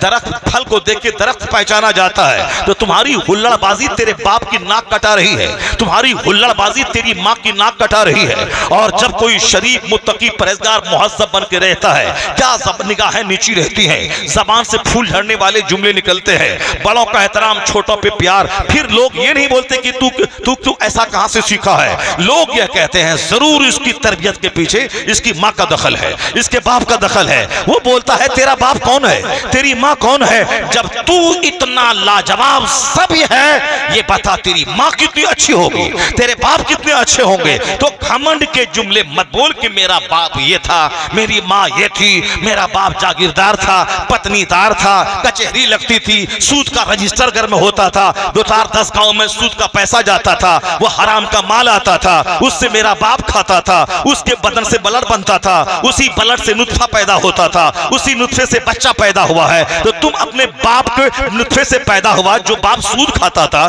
तो अगर तू आज गाली दे रहा है, आज मौलाना का मज़ाक उड़ा रहा है, मस्जिदों को वीरान कर रहा है, जो हिंदू मस्जिद के दरवाजे पे डीजे बंद कर दे, और तू मुसलमान का बच्चा हो कि मस्जिद के दरवाजे पे डीजे बजाता है, जो हिंदू मौलाना के सामने हाथ जोड़ के खड़ा होके बोले, तेरी तावीज ने मेरे बच्चे को सेहत दे दिया है। मेरे घर में एक बुत था, एक महीने से बोलता था, मेरे बेटे को बुखार है, उसको ठीक कर दे। वह बुत नहीं किया, और तुमने पानी भर के दिया, मेरा बच्चा अच्छा हो गया, तू अच्छा है कि बुत अच्छा है? जा रहे हैं घर, उस बुत को उठा के फेंक देंगे, वह जाता है, घर उठा के फेंक देता है। वो तो मौलाना का पाँव चूम रहा है, इसको सम्मान दे रहा है। और तुम मुसलमान घर में पैदा होने के बाद तुम इसका मज़ाक उड़ा रहा है। सामने एक शराबी तेरा दोस्त राशिद खड़ा है, उसको तू सलाम करता है। और पाँच वक्त का नमाजी मस्जिद में पाँचों टाइम नमाज़ पढ़ने वाला इमाम है, तू उसको सलाम तक नहीं करता है। सामने तेरा शराबी जनाकार दोस्त खड़ा है, उसको तू सलाम करता है। और उसके बाजू में एक नमाजी नेक परहेजगार दाढ़ी वाला गरीब आदमी वो खड़ा है, उसको सलाम तक नहीं करता है। और उसका नाम लेके तू राशिद भाई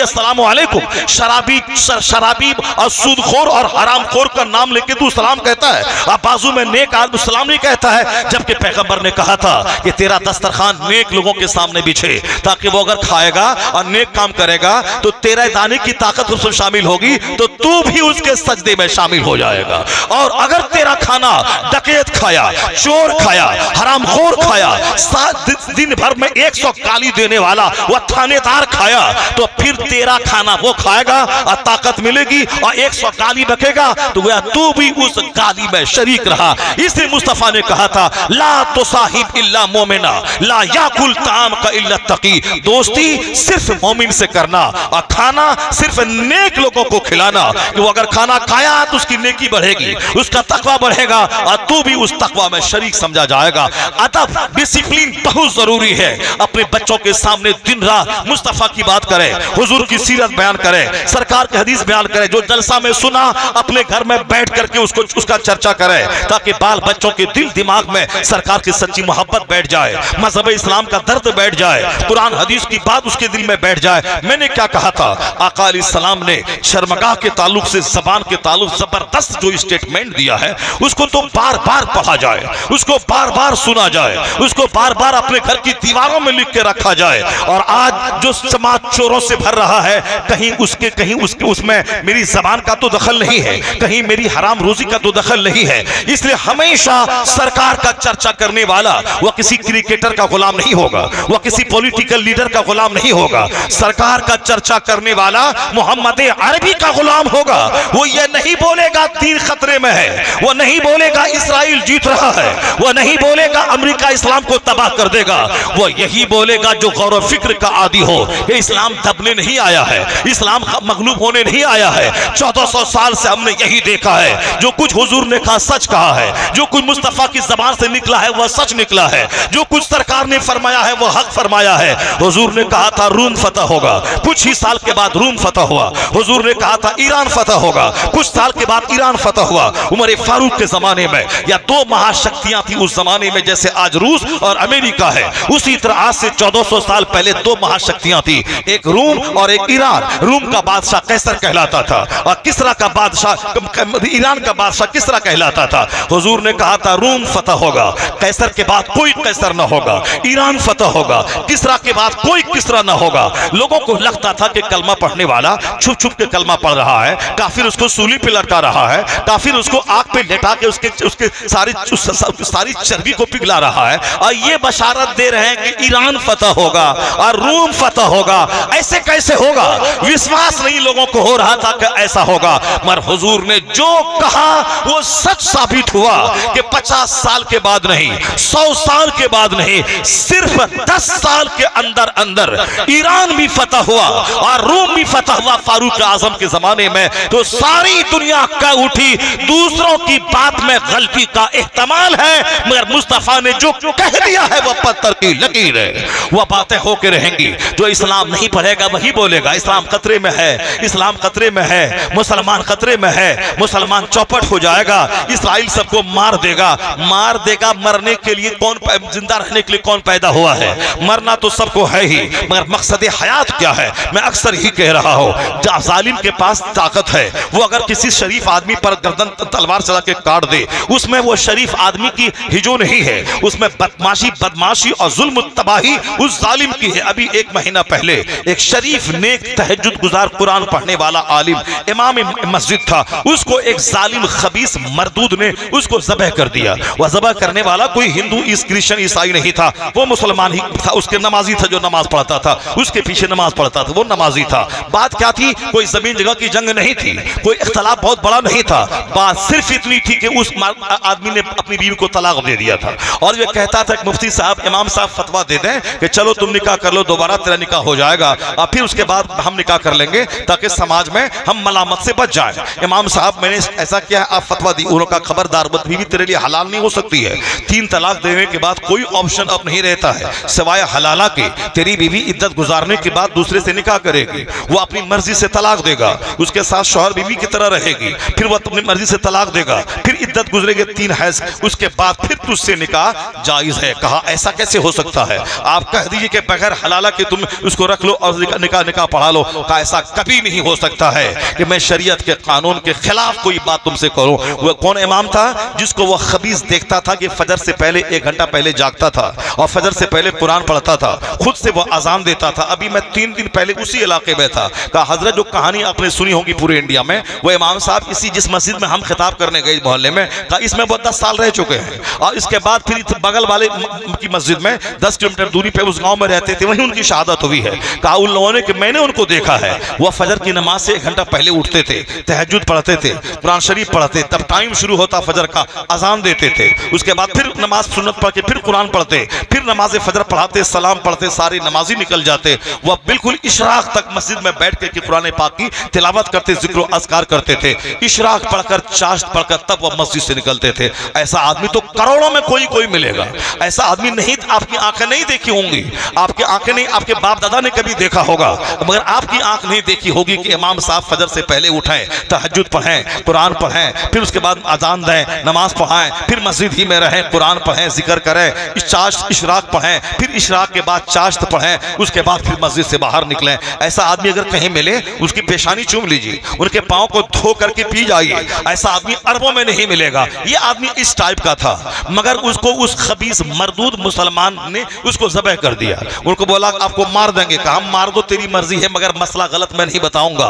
वह मुकद्दर का धनी आदमी तहजद गुजार, जब मैंने सुना, मैंने कहा, अल्लाह को मंजूर था कि इसको शहादत का मर्तबा मिले, चूँकि नमाजी परहेजगार था। और फिर वो किसी धन, दौलत, बेटा, बेटी, लड़ाई, झगड़ा, नौकर, चाकर, नौकरी, चाकरी के चक्कर में नहीं मारा। मसला हक बताया था, उसी के पतले में मारा गया। तो जो हक बताए, आप फूल माला पहन ले, ये तो दुनिया में इज़्ज़त मिल गई। लेकिन जो हक बताया गर्दन कट गई। हक बताया, तमाचा खाया। हक बताया, गाली सुना।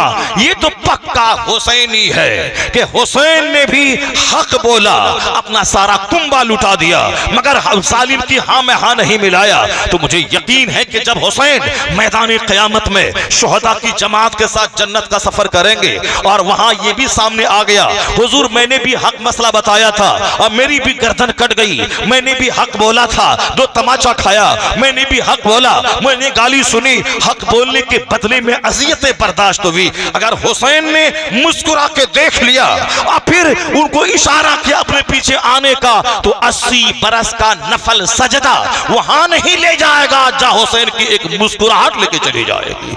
तो दीन के बदले में माला पहनना और है और हक बोलने के बदले में गाली सुनना और है। उसका मकाम ही कुछ और है। तो दुनिया में किस कदर शरारत बढ़ गई? हदीस में आया है, सरकार फरमाते हैं अखीर जमाने में इस कदर शरारत बढ़ जाएगी, इस कदर बढ़ जाएगी, उन न कातिल को पता चलेगा कि मैंने कत्ल क्यों किया, और जो कत्ल हुआ ना उसको पता चलेगा कि मैं कत्ल क्यों किया गया, न कातिल का पता चलेगा, न न कातिल बोलेगा कि हमने क्यों कत्ल किया, बिला वजह कत्ल करेगा, और न मकतूल को पता चलेगा मैं क्यों कत्ल किया गया। आज वही जालिम और जाबिर अल्लाह ने ताकत दी थी, उसका शुक्र अदा करना था, लेकिन निहत्थे बच्चों और मुसलमानों को जबह करने पर पूरी एनर्जी का इस्तेमाल कर रहा है। मगर शिकस्त खा गया। उसका गुरूर टूट गया। सारी दुनिया में उसकी पसपाई और रुसवाई हो गई। हम लोग सुनते थे कि हक हमेशा गालिब रहता है। आज हमारी निगाहें देख रही है। जिस खबीस अमेरिका ने कहा था कि तीन दिन में गाजा को मिटा दिया जाएगा। इसराइल नाम का कोई मुल्क नहीं है। वो अमेरिका की कॉलोनी है। वो अमेरिका की नाजायज औलाद है। अमेरिका ने जन्म दिया है। इसलिए इसराइल कोई मुल्क नहीं, अल्लाह ने कुरान में कहा है। यहूदियों को हमने जलील कर दिया है। उस पर जिल्लत मुसलत हो गई है। इसलिए यहूदी अपने मन से सांस नहीं ले सकता। वो तो अमेरिका का इशारा पाता है, वो अटैक करता है। अमेरिका ही असल में वह वही कॉलोनी है। वो अमेरिका का बोला था? तीन दिन में गाजा को मिटा देंगे। ये सारे लड़ाकू को खत्म कर देंगे। आज दो महीने गुजर गए। हज़ारों इसराइली यहूदी जहन्नम पहुँचे। उनके टैंक तबाह हुए। और ये मुट्ठी भर जवान अल्लाह के भरोसे दुनिया में नाम रोशन कर रहा है। सारी दुनिया इसकी बहादुरी का खुतबा पड़ रही है। आज दुनिया जान रही है कि अमेरिका को यार एटम बम पर नाज है, फास्फोरस बम पे नाज है, उसे अपने बम बरसक विमान पे नाज है तो इन मुजाहिदीन को भी खुदा की नुसरत पे नाज है, अल्लाह रसूल की नुसरत और मदद पे नाज है, और आँखों से देख रहा है कि एटम बम रखने वाला जलील हो रहा है, और मुस्तफ़ा पर का गुलाम अल्लाह पर भरोसा रखने वाला सारी दुनिया में बहादुरी का खुतबा पढ़ा जा रहा है। दो महीने तक डटारा शहीद हो जाना उनके लिए ऐब की बात नहीं है, किसी के लिए भी ऐब की बात नहीं है। अगर ये 2000 5000 लोग शहीद हो गए तो शहादत तो 70 साल से वहाँ हो रही है। हम तो वहाँ के नौजवानों, वहाँ के वीरों, वहाँ के मर्दों, वहाँ की औरतों को दाद देते हैं। वहाँ के वीर, वो अभी फिलिस्तीन छोड़ के भागते नहीं है। शहीद यही होना है। चाहे भाग के जाओ, मरना तो है। हिंदुस्तान के लोग मरे लेटरिन रूम में। वो मरे गुटका खा के। वह मरे किसी साहब जिम में एक्सरसाइज करते हुए। वह मरे शादी की महफिल में डांस करते हुए। वह मरे किसी तवाइफ के कोठे पर। तो मरना और है? या फिर जनरली हॉस्पिटल में मरे, मगर अल्लाह के नाम पे जिहाद करते हुए शहादत की मौत मरे, ये और बात है। सबसे आला मौत है शहादत पाना। इसीलिए सत्तर साल से यहूदी जुल्म कर रहा है। पर औरतें लाजवाब, बच्चे लाजवाब, जवान लाजवाब, बूढ़े लाजवाब, बीमार लाजवाब, नहीं नहीं, मरेंगे तो फिलिस्तीन में मरेंगे। नबियों की ज़मीन फिलिस्तीन, रसूलों की ज़मीन फिलिस्तीन, शोहदा की ज़मीन फिलिस्तीन। इसको छोड़ के नहीं जाना है। वहाँ की औरतें इसी उम्मीद में वक्त गुजार रही है। आज नहीं तो कल। ज़रूर कोई सलाहुद्दीन अयूबी जन्म लेगा, फिर यहूदी को खदेड़ेगा, किबले अव्वल को आज़ादी मिलेगी और नबियों की ज़मीन फिलिस्तीन को आज़ादी का परवाना मिलेगा। और वह वक्त करीब आ गया है। और वह वक्त बिल्कुल करीब आ गया है कि जबकि इसराइल उजड़ने वाला है। मेरा नबी सच्चा, मेरा खुदा सच्चा, मेरा कुरान सच्चा। कुरान कहता है, ये काफिर अपने मुँह से इस्लाम का नूर बुझाना चाहते हैं। अल्लाह उस नूर को पूरा करना चाहता है। तो जो अल्लाह चाहेगा, वही होगा। सारी दुनिया के लोग मिलके चाहे वह नहीं होगा। अल्लाह ने ईरान मुसलमानों को दिया। अल्लाह ने रूम मुसलमानों को दिया। अल्लाह ने अल्लाह ने मुसलमानों को सल्तनत दी। हुकूमत दी बकरी के चराने वाले लोग थे ईरान के हाकिम हो गए। वो ऊँट चराने वाले थे वह रूम के हाकिम हो गए। हिंदुस्तान के लोग, हिंदुस्तान में एक हज़ार साल तक इस्लामी सल्तनत रही। ये गरीब खस्ता हाल लोग थे। इस महान मुल्क के हाकिम बन गए। अल्लाह कहता है, तुम नेक बन, मैं हुकूमत दूँगा। तू तू तू सालेह बन, तू मौत को गले लगा ले। शहादत का इरादा कर ले। अल्लाह रब्बुल इज़्ज़त की मर्ज़ी पे राज़ी बरेसा हो जा। तुम्हें सल्तनत दूँगा, तुम्हें हुकूमत दूँगा, तुम्हें मकबूलियत दूँगा तुम्हें शोहरत दूँगा, तुम्हें राहत दूँगा और जैसे मरेगा, मैं अपनी कीमती जन्नत तुझे दे दूँगा। दोनों जहान की राहत तुझे मिलेगी। शर्त है मस्जिद आबाद हो, शर्त है घर में इस्लामी कल्चर हो, शर्त है औरतें पर्दे में रहें और सलाहुद्दीन अयूबी के गुलामों को अपने नस्ल से पैदा करे और उसी में रहें, पर्दे में रहें, कुरान पढ़े। वह ज़्यादा नाच गाने के पीछे ना पड़े, वह ज़्यादा नाटुंगी के पीछे न पड़े। अपने चेहरे की नुमाइश अपने देवर के सामने, दूसरे मर्दों के सामने न करे। अपनी इज़्ज़त की हिफाजत करे। इज़्ज़त अगर बच गई तो आने वाली नस्लें महबूब इलाही का गुलाम पैदा होंगी। क्योंकि औरतें पर जब बेपर्दा रहती हैं तो समाज में अजाब इलाही नाजिल होता है। औरतें बेपर्दा रहती हैं तो मर्दों की दुआ को अल्लाह रद्द कर देता है। नहीं सुना कि दिल्ली में एक बार बारिश बंद हो गई, कहत का माहौल छा गया। मुसलमान सड़कों पर आ गए। हज़ारों की तादाद में नमाजी इस्तिस्का अदा की। यानी बारिश को बारिश के लिए दुआ करने वाली नमाज़। मगर बारिश नहीं हो रही थी। मुसलमान परेशान हो गए, रोने लगे। हम लोग मैदान में निकले, नमाज़ अदा की, मगर बारिश नहीं हो रही है। जानवरों के थनों का दूध खुश्क हो चुका है। फ़सलें जल रही हैं, पीने को पानी नहीं मिल रहा है। नदी, नाला, तालाब चापाकल कुआँ सब खुश्क हो चुका है। ऐसे में सूफी निजामुद्दीन अबुल मुअय्यिद महबूब एला, यानी कुतुबुद्दीन बख्तियार काकी के बाजू में उनका मजार है। उनके बगल में उनकी माँ का मजार है। उन्होंने उन्होंने अब सूफी निजामुद्दीन मुअय्यिद ने अपनी माँ की एक चादर को हाथ में लिया। और आके दुआ करनी, इलाही, या उस औरत की चादर है, जिस औरत को मरते दम तक किसी अजनबी मर्द ने उनके सर के बाल नहीं देखा, उनके चेहरे को नहीं देखा, जो अजनबी मर्दों से सारी ज़िंदगी अपने सर अपने चेहरे की हिफाजत करती रही। या उसके इसी दुपट्टे का वसीला है। इलाही बारिश रहमत का नजूल फरमा दे। हज़ारों मुसलमान सड़क पे आए। दुआ की दुआ कबूल नहीं हुई। एक खातून, ऐसी खातून जिसके सर से आंचल नहीं खिसका अजनबी मर्द ने उसको नहीं देखा। उनका दुपट्टा इतना कीमती हुआ, उनके वसीले से इधर दुआ खत्म हुई, उधर घंघोर घटा छाई और वो जोरदार बारिश हुई कि दिल्ली और इलाके के सारे नदी नाले तालाब सब भरते हुए नज़र आ गए। पता चला कि औरतें जब बेपर्दा होती हैं तो समाज में कहत आता है। औरतें जब बेपर्दा होती हैं, समाज के बच्चों पे की सेहत छीनी जाती है। औरतें जब बेपर्दा होती हैं तो रोजियों से बरकत खत्म हो जाती है। औरतें जब बेपर्दा होती हैं तो खाने काबा के अंदर कोई दुआ करे तो भी दुआ रद्द हो जाती है। दुआ की कबूलियत के लिए दो चीज़ें ज़रूरी हैं। एक रिस्क हलाल ज़रूरी है और एक औरतों माँ बहनों बेटियों का पर्दे में रहना ज़रूरी है। जिस कौम की औरतों के पाजेब की आवाज़ अजनबी मर्दों के कान में जाए, आया है हदीस में उस कौम के मर्दों की दुआ को अल्लाह रद्द कर देता है। यानी जिस कौम की औरतों के पाजेब की आवाज़ अजनबी मर्दों के कान में जाए, उस कौम के मर्दों की दुआ अल्लाह रद्द कर देता है। और हराम का एक लुकमा जैसे ही पेट में जाता है, चालीस दिन तक कोई दुआ उसकी कबूल नहीं होती है। मुस्लिम शरीफ के हदीस में आया है कि एक शख्स दूर दराज से सफ़र करता हुआ, उसके बाल उलझे हुए, गर्दो गुबार से लिपटे हुए, और बिल्कुल नहीं फलाकर दुबला पतला होकर भूखे, भूख की हालत में हाथ उठा के कहता है यारब यारब तो हुजूर कहते हैं, उसकी जाहिरी हालत तो देखो, यानी वह भूख, प्यास से निढाल, दूर दराज से चल के आया है। लोग देखेंगे तो कहेंगे, ये जो दुआ करेगा, दुआ कबूल हो जाएगी। दुआ की कबूलियत के लिए आजिजी शर्त है। दुआ की कबूलियत के लिए इनकसारी शर्त है। दिले शिकस्ता होना शर्त है। ये बंदा तो सफ़र से आया है। इसके बाल उलझे हैं। पेट में दाना नहीं है। ये जो दुआ करेगा, दुआ कबूल हो जाएगी। पर हुजूर कहते हैं, कैसे दुआ कबूल होगी? उसकी दुआ कबूल नहीं होगी। क्यों? उसका जो बदन पे लिबास है, वो हराम का है। उसके बदन में जो पानी गया है, वो हराम का है। उसके बदन में जो दाना गया है, वो हराम का है। अन्ना युस्तजाब। कैसे उसकी दुआ कबूल होगी? मत अमहू हराम मल बसहू हराम, मशरबहू हराम। उसका खाना, उसका कपड़ा उसका कपड़ा ये सब हराम का है। कैसे उसकी दुआ कबूल होगी? पता चला इस हदीस रसूल का तेवर बोल रहा है। दुआ की कबूलियत के लिए रिस्क हलाल ज़रूरी है।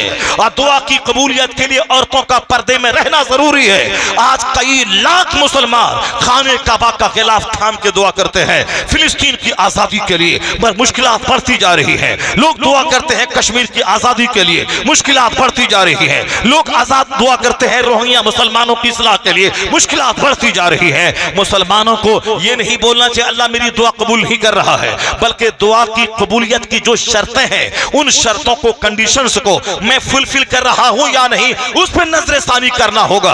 मैं कामयाब क्यों नहीं हो रहा हूँ? मेरी दुआ क्यों नहीं कबूल हो रही है? और जहाँ चूक हुई है, जहाँ भूल हुई है, उस चूक को दूर किया जाए। आज औरतें पर्दे में रहे, और मर्द हलाल खाए। हज फ़र्ज़ नहीं हो उस पर, मगर जो दुआ हराम खा के खाने काबा में करे, वो दुआ रद्द हो जाए, वही दुआ अपने मोहल्ले की मस्जिद में हलाल खा के करे, अल्लाह दुआ कबूल कर लेता है। अपने मोहल्ले की मस्जिदों में हलाल खा के जो दुआ हो, वो दुआ कबूल हो जाती है।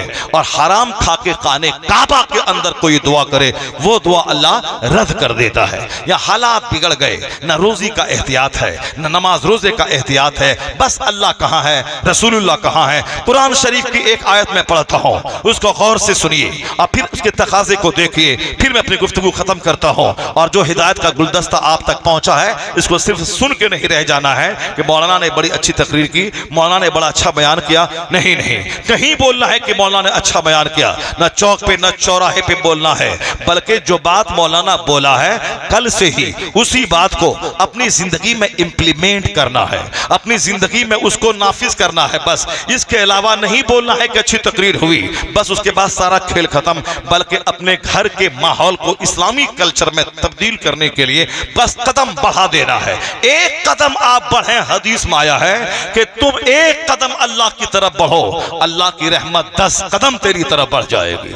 तुम अल्लाह की तरफ़ चलना शुरू करो, अल्लाह की रहमतें दौड़ कर तेरा इस्तेमाल करेंगी। कोई हो तो तौबा करने वाला, कोई हो तो यू टर्न लेने वाला, कोई हो तो अपने रब को मनाने वाला, कोई हो तो एतराफ जुर्म करने वाला, मबूद मुझसे खता हो गई। अब मैं खता नहीं करूँगा। अब मैं तेरी मर्ज़ी के मुताबिक जीऊँगा। मालूम है, ऊँट से लदा हुआ, सामान से लदा हुआ ऊँट किसी का गायब हो जाए। फिर दोबारा वो उसको मिल जाए। मिलने के बाद जो खुशी होती है उस सामान ऊँट वाले को। हदीस माया है, उससे ज़्यादा खुशी अल्लाह को उस बंदे से होती है जो बंदा सच्ची तौबा करके नेक बनना चाहता है। उससे ज़्यादा खुशी होती है अल्लाह को। जब कोई गुनहगार बंदा तौबा करके नेक बनता है, राह रास्त पे आता है। मेरी सवाल का क्या सबब है? बस एक आईना दिखलाता हूँ। कुरान शरीफ में बेशुमार कहानियाँ, बेशुमार किस्से, बेशुमार अवामिर बेशुमार नवाही और बेशुमार गौर फ़िक्र की बातें हैं। मैंने आपसे कहा था लीद और गोबर की बात जो मेरे बात, दिमाग से मैं बहुत आगे बढ़ गया। कुरान शरीफ की एक आयत में आया है वह इन लकुम फिल अनाम इबरा। तुम्हारे लिए हवा हैवानों में आँख खुलने की बातें हैं। नुस्खी को मिम्माफी बतून ही मिम्बे ने फरसियों व तमिन लबनन खालिसन साइगल शारिबी अल्लाह कहता है, कुरान शरीफ की आयत में, ये जो जानवर है, जिसको तुम जानवर कहता है, तुम्हारी आँख खुलने की बातें हैं, तुम्हारी हिदायत पाने की बातें हैं, तुम्हारा दिल दिमाग का बंद दरवाज़ा खुलने की बात है, इबरत के निशान है यह जानवर। अल्लाह कहता है, उसके पेट से मैं दूध निकालता हूँ, उस जगह से जहाँ से गोबर निकलता है, जहाँ से खून निकलता है। मिम्बैन फरसियों व दमिन ये फर्स मने लीद गोबर और दम मने खून। अल्लाह कहता है फर्स और दम, यानी गोबर और खून के बीच से मैं तुम्हारे लिए साफ़, शफाफ सेहत बख्श हेल्दी, ताकतवर दूध मैं तेरे लिए निकालता हूँ, ताकि तू जानवरों के थनों से निकले हुए दूध को पियो। माँ का दूध दो साल के बाद हराम है। उसके बाद मरते दम तक दूध बदन के लिए, कैल्शियम के लिए ज़रूरी है। हड्डी की पुख्तगी के लिए जवान हो या बूढ़ा हो, अब ये माँ का दूध तो दो साल के बाद हराम है। अब क्या होगा? अल्लाह ने जानवरों के थनों से निकाला, जो दूध, गोबर और खून के बीच से निकलता है। ना उसमें गोबर की बदबू है, ना उसमें खून की लाली है। साफ़ शफाफ। अल्लाह ने कहा, गौर कर, कौन है जो खून के बीच से साफ़ दूध निकाला?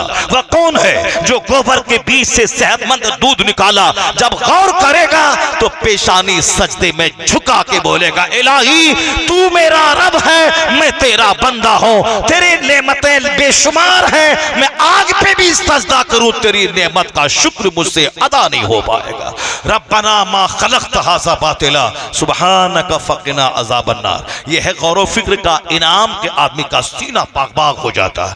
उसकी खिंची हुई पेशानी झुक जाती है। उनके दिमाग का सारा कचरा दूर होता है। ये तो मैं इन्हें एक झलक बता दी कि विज्ञान ने जो कुछ आज कहा है, और ये कुरान तो 1400 साल पहले नाजिल हुआ है। 1400 साल से ये कुरान दुनिया वालों को बता रहा है। कि दूध, गोबर और खून के बीच से निकलता है।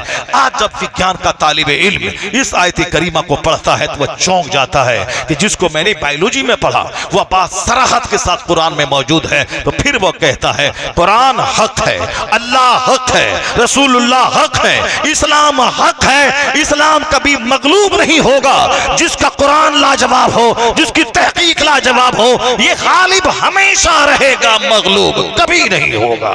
जो कुरान पढ़ेगा वो नहीं बोलेगा कि इस्लाम का मुस्तकबिल तारीख है। वो नहीं बोलेगा कि आने वाला फ्यूचर हमारा डार्क है। नहीं नहीं। हमारा फ्यूचर इतना रोशन है कि हुजूर ने कहा है कि जब जनाब ईसा सलाम आसमान से ज़मीन पे आएँगे, जब जनाब इमाम मेहदी ज़ाहिर होंगे, उस जमाने में दज्जाल को ईसा सलाम लुद के मकाम पे जहाँ इसराइल का एयरपोर्ट है, वो मकाम लुद है। वहाँ दज्जाल को कत्ल किया जाएगा। फिर पूरी दुनिया में एक मज़हब मज़हब इस्लाम होगा और एक मसलक मसल के अहले सुन्नत व जमात होगा। अगर कोई यहूदी भाग कर दरख्त की आड़ या पत्थर के पीछे छुपेगा, फयकुलू शजर अविल हजर, या दरख्त या पत्थर बोलेगा, ए अब्दुल्ला ए मुसलमान, यहूदी वराई, यहूदी मेरे पीछे है। तो मुजाहिद वहाँ जाएगा, या तो उसको कत्ल करेगा, या वह कलमा पढ़ के मोमिन बनेगा। इस तरह दुनिया का हर कच्चा घर, हर पक्का घर में इस्लाम दाखिल होगा। ला यबका अला जहरील अर्द बैतु मबरियम वाला फब्र इल्ला अदखलहुल्लाहु कलिमतुल इस्लाम। मुस्तफ़ा सच्चे, मुस्तफ़ा की बात सच्ची, हुजूर कहते हैं, वो जमाना आएगा, न कच्चा घर बचेगा, न पक्का घर बचेगा, मगर वहाँ अल्लाह इस्लाम का कलमा दाखिल फरमा देगा। इसलिए हमें इस्लाम के ताल्लुक से फिक्रमंद नहीं होना है। अपने लिए फ़िक्र कीजिए कि मैं मरते वक्त कलमा जारी होगा कि नहीं। कब्र में मेरा क्या होगा? हशर में क्या होगा? पुलसरात पे क्या होगा? नेकी बदी तोली जाएगी, मीजान पे वहाँ मेरा क्या होगा? जन्नत मिलेगी कि नहीं मिलेगी? 2024 में मोदी आएगा, ना आएगा, वो तो अल्लाह को मालूम है। मगर तुम कल मर जाओगे तो फिर मोदी अपनी जगह रहेगा। और तुम कब्र में हिसाब किताब के लिए पहुँच जाओगे। फरिश्ता बोलेगा, मन रबो का माँ दीनों का माँ कुल तकुल्फी हक के हाजिर रोजल वहाँ दैनिक जागरण और हिंदुस्तान काम नहीं आएगा। वहाँ आलिमों की सोहबत काम आएगी। वहाँ मुताला काम आएगा। कुरान और हदीस पाक पढ़ना काम आएगा। फटाफट जवाब निकलेगा। मेरा रब अल्लाह है, मेरा दीन इस्लाम है। ये हमारे पैगंबर आज़म अली है। बस जन्नत की खिड़की खोल दी जाएगी तो हिसाब वहाँ होगा। हम मोदी जी आएँगे 2024 में आएँगे कि नहीं आएँगे? मगर यहाँ बड़बड़ कर रहे लोग, चौराहे पे, पान की दुकान पे, आखरत का, कयामत का पुलसरात का कोई चर्चा ही नहीं है। आप अपना काम कीजिए। आप पैदा हुए हैं अल्लाह की इबादत के लिए, और अल्लाह का काम है दुनिया चलाना। तो अल्लाह का काम अल्लाह कर रहा है। आप अपना काम करें। जिस दिन आपके काम पे नज़र रहेगी तो जन्नत तो वहाँ मिलेगी, हुकूमत यहाँ मिल जाएगी, सल्तनत यहाँ मिल जाएगी। कोई गुल बाकी रहेगा न चमन रह जाएगा, पर रसूलुल्लाह का दीन हसन रह जाएगा। जो कुछ भी मुस्तफ़ा ने 1400 साल के अंदर कही हैं, सारी बातें सच निकली हैं। और ये पैगाम भी जो मुस्तफ़ा ने दिया है, मेरा विश्वास है, मेरा अकीदा है, ये बात भी सच साबित होगी। अगर हम लोग तो उस दिन तक ज़िंदा नहीं रह पाएँगे, मगर हमारी आने वाली नस्लें ज़िंदा रहेंगी, वह देख लेंगे कि जो आज जुल्म कर रहा है, उस जालिमों का बच्चा तक नहीं रहेगा। एक मज़हब मज़हब इस्लाम रहेगा, एक मसलक मसल के अहले सुन्नत व जमात रहेगा। इसलिए दुनिया में तो इस्लाम चलता रहेगा, अजान होती रहेगी जुमा होता रहेगा, खिताब होता रहेगा। आपका अपना क्या होगा अगर कल सुबह मर गए? इसलिए ज़्यादा फ़िक्र अपने ताल्लुक से होनी चाहिए। अब एक एक मिनट को कीमती समझें, अपने घर में इस्लामी माहौल पैदा करें, कुरान हदीस के मुताले का माहौल पैदा करें। उससे क्या होगा? नज़रियात बदलेंगे, दिमाग की मिसअंडरस्टैंडिंग का खात्मा होगा, नेक लोगों की सोहबत में रहने के आदि बन जाए। नेता के पास पाँच दिन झोला ढोएँ, नेतागिरी का जुनून चढ़ ही जाएगा। चोरों के पास दो दिन रहें, चोरी करने का मजाज बन ही जाएगा। आलिमों के पास रोज़ाना पाँच मिनट रहे, सिर्फ़ उनका चेहरा देखें, जन्नत जाने का जुनून चढ़ ही जाएगा, नेक अमाल का शौक पैदा हो ही जाएगा। अल्लाह तबारक व ताली हमको और आपको सबों को नेक बनने की तोफ़ी अता फरमाए, कुरान हदीस का मुताला करने की तोफ़ी अता फरमाए।